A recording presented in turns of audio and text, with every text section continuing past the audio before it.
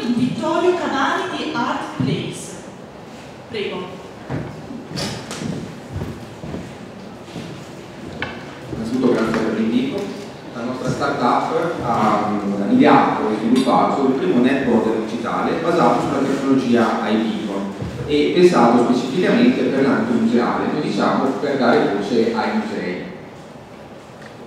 Non prego, vai. No.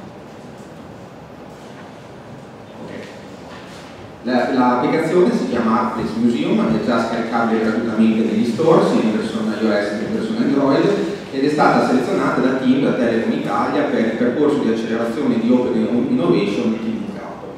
Di cosa stiamo parlando? Stiamo parlando di questa tecnologia che come tradisce il prefisso A è stata rilasciata da Apple nel 2013 con una duplice finalità. Da un lato quella di microlocalizzare i device degli utenti, tablet e smartphone, con una precisione centimetrica maggiore rispetto al tradizionale GPS e dall'altro quella di favorire un'interazione proattiva con un'applicazione collegata, quindi un'evoluzione del QR code. I beacon non sono nient'altro che questi piccoli trasmettitori Bluetooth low cost e low energy che per la loro minima invasività possono essere tranquillamente installati sia in un ambiente outdoor che in un ambiente indoor. Dal 2013, dall'anno di, di rilascio, eh, hanno avuto due grandi ambiti di impiego, da un lato l'ambito più commerciale, l'ambito retail, e dall'altro l'ambito eh, museale e culturale, con applicazioni interessanti anche nell'ambito delle smart city.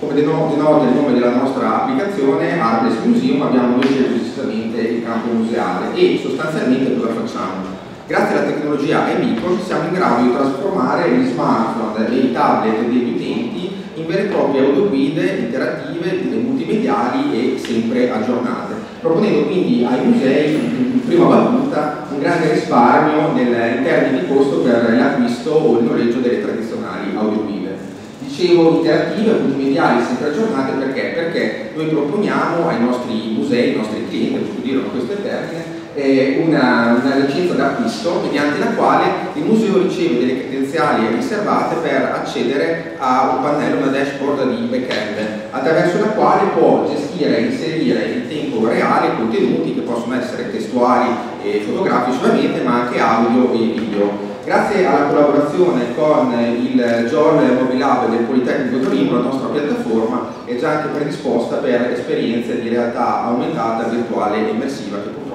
però hanno costi notevoli, soprattutto per il museo eh, finale.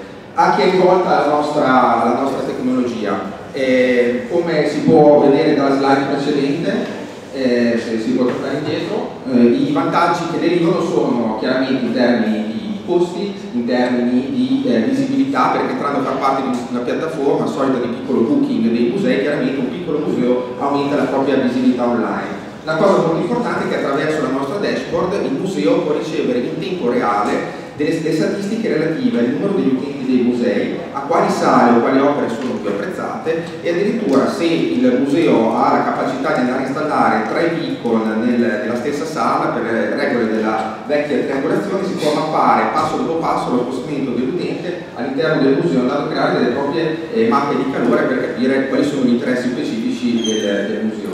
Eh, come dicevo, il, i musei che diciamo, sono il nostro target sono eh, musei medio piccoli, intendendo con questi un'utenza massima annuale di circa 100.000 utenti, perché ovviamente si tratta di una via low cost diciamo, di accesso al digitale. Come vedete nella slide che ho preparato, nonostante la nostra applicazione sia stata lanciata ufficialmente solamente il 31 gennaio, siamo già dei piccoli leader del mercato, no? tutti i musei segnati in verde sono nostri clienti, e gli altri segnati in rosso invece sono musei di- come il Museo Da Vinci di Milano, come le gallerie dell'Accademia di Venezia, che hanno scelto la strada invece di costruire un'applicazione basata sulla tecnologia Beacon customizzata, cosa che ovviamente siamo in grado di fare anche noi in quanto web agency e infatti stiamo rilasciando tra poche settimane l'applicazione per Palazzo Ducale di Sassuolo, afferente alla Galleria Estensi, uno dei 20 musei della- autonomi creati dalla riforma Franceschini e stiamo costruendo l'app per Fondazione Musei Civici di Venezia, attualmente i nostri beacon sono disponibili a Capesaro.